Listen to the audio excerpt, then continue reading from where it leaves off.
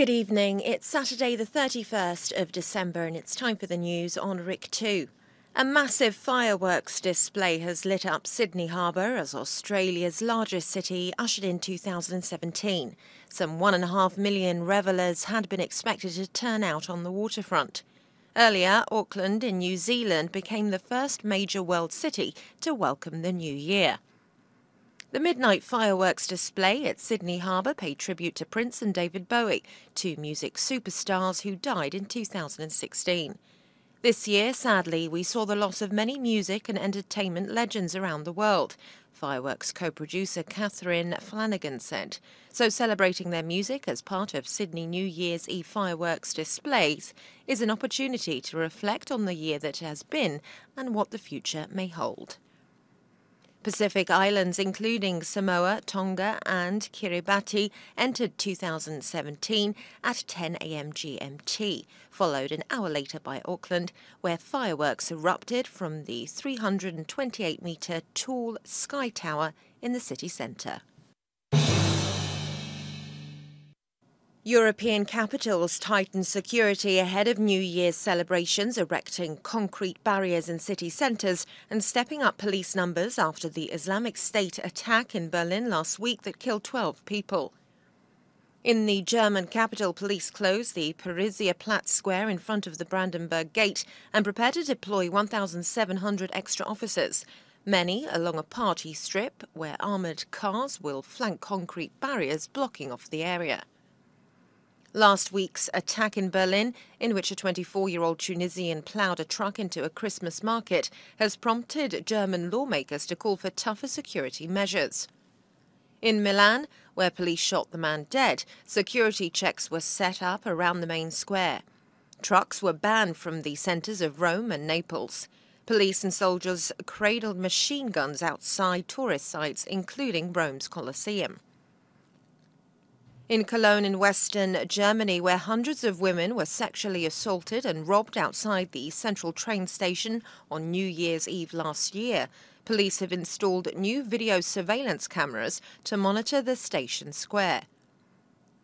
The attacks in Cologne, where police said the suspects were mainly of North African and Arab appearance, fueled criticism of Chancellor Angela Merkel's decision to accept nearly 900,000 migrants last year. In Brussels, where Islamist suicide bombers killed 16 people and injured more than 150 in March, the mayor was reviewing whether to cancel New Year fireworks, but decided this week that they would go ahead. In Paris, where Islamic State gunmen killed 130 people last November, authorities prepared for a high security weekend, the highlight of which will be the fireworks on the Champs Elysees, which some 600,000 people are expected to attend. Across France, more than 90,000 police and thousands of soldiers will be on duty for New Year's Eve. Russia urged the UN Security Council yesterday to give its blessing to a fragile ceasefire in Syria, the third truce this year, seeking to end nearly six years of war in Syria. The Security Council met behind closed doors for an hour to consider a proposed resolution endorsing the ceasefire that Russia and Turkey announced on Thursday. Diplomats said Russia has requested that the 15 member council vote on the resolution today. Clashes, shelling, and air raids in western Syria marred the truce shortly after it went into force at midnight on Thursday, and violence appeared to escalate later yesterday. Russian President Vladimir Putin has said the parties were prepared to start peace talks intended to take place in Astana in Kazakhstan. Syrian state media said late on Thursday those talks would take place soon. Three bombs killed 29 people in Baghdad today as fighting intensified in the northern city of Mosul, where Iraqi government forces are trying to rout Islamic State militants from their last major stronghold in the country. Blasts, including one suicide attack, tore through a busy market in the Sinak neighborhood. A pro Islamic State news agency said the target was Shiite Muslims whom the militants regard as apostates. A third blast later in the day killed four people in the eastern New Baghdad district, where a minibus packed with explosives blew up in a busy commercial street. Islamic State has continued to launch attacks in the heavily fortified capital, even after losing most of the northern and western territory it seized in 2014. The recapture of Mosul would probably spell the end for Islamic State's self styled caliphate, but the militants would still be capable of fighting a guerrilla style insurgency in Iraq and plotting or inspiring attacks on the West. A Rio de Janeiro policeman confessed to murdering Greece's ambassador to Brazil in what investigators called a cowardly act carried out at the direction of the diplomat's Brazilian wife, with whom the officer was romantically involved. Ambassador Kyriakos Amiridis, 59, was missing since Monday night. Francoise, his Brazilian wife and the mother of their 10 year old daughter, reported him missing to police on Wednesday.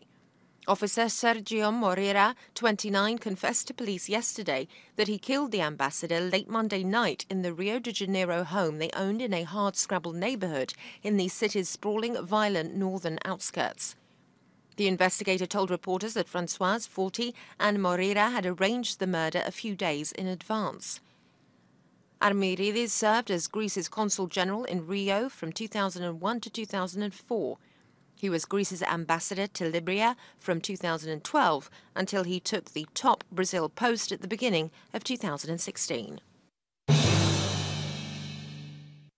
And now a look at New Year's Day weather. It will be partly cloudy tomorrow with isolated rain and showers and snow at times over higher ground. Winds will be moderate to fresh, mostly northeasterly to northwesterly, becoming strong in windward areas, force 4 to 5. The sea will be moderate. Temperatures will reach 13 Celsius inland, 15 in coastal areas, and 1 over the mountains. The depth of snow is 65 centimetres on Mount Olympus and 55 on Troodos Square. That's all for today. Join us tomorrow again for more news in English. Have a very good evening and have a happy new year.